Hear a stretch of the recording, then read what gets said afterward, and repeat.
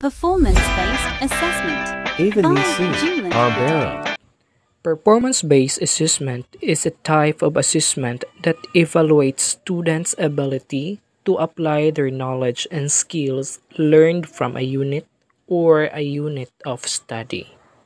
How to grade or assess a performance-based assessment? We can assess performance-based assessment through use of rubrics. So what is a rubric? Rubric is a scoring guide used to evaluate performance, a product, or a project. So there are two types of rubric. We have holistic rubric and analytic rubric. Holistic rubric is a single criterion rubrics or one-dimensional used to assess participants' overall achievement on an activity or item based on a predefined achievement levels. Analytic rubric is a two-dimensional rubrics with levels of achievement as column and assessment criteria as row. So let me present our analytic and holistic rubric for you to assess our performance-based assessment. Good day everyone, I am Jurland Quitay with my partner Miss Eva-Nie Barbero. Today, we are going to make a dish garden as our product-based assessment. But before that, I want to discuss first what are the materials that can be used in making a dish garden.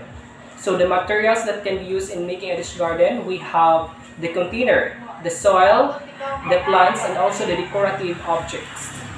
And also, I want to discuss what are the procedures in making a dish garden and how we care at this garden and also what are the benefits that we can get after having a dish garden in our home.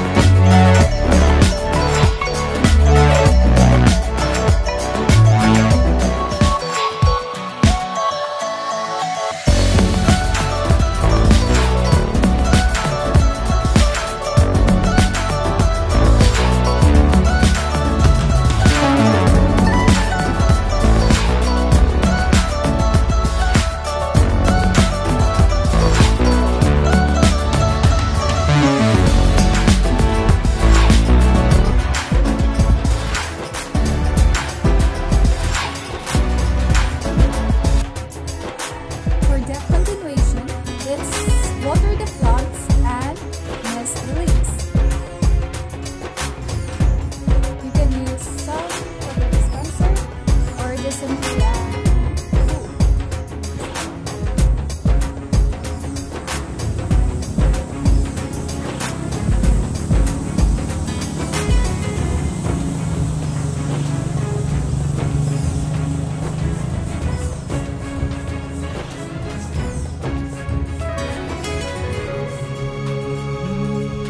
must take note that in keeping a dish garden healthy and lively, you must place it under a shady place and avoid direct sunlight.